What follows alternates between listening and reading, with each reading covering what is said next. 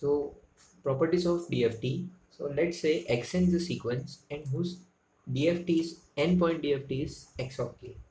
Okay so if xn and xn x of k are n point DFT pair this you can say if this forms n point DFT pair then what this property says is that x of k plus n is nothing but x of k.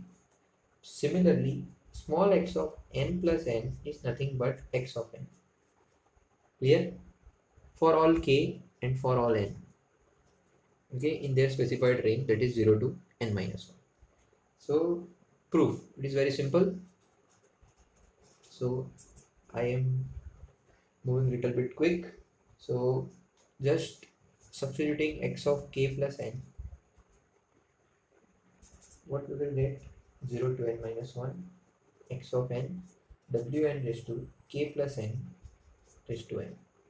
It is nothing but summation x of n wn raised to kn and wn raised to n into n. And we know wn raised to n is 1 so 1 raised to n is nothing but 1 only. So this whole term is 1 so we are left with this term and this is nothing but x of k. So hence it is proved and similarly you can prove x of n plus n is nothing but x of n. Clear? Now second property that is linearity.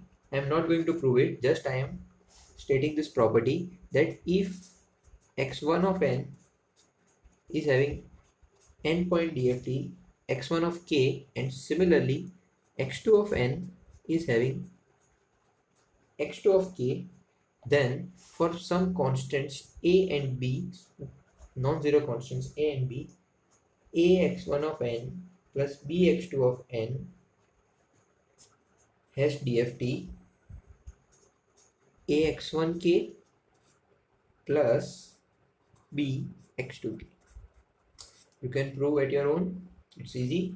So that's all about this property. From next lecture we will consider very important properties of dft